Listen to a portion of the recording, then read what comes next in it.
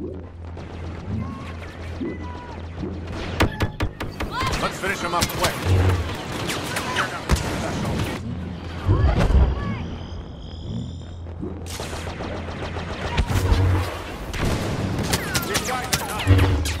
Stay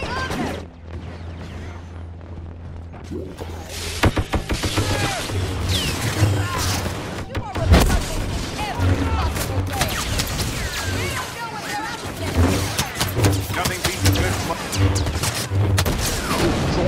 or die.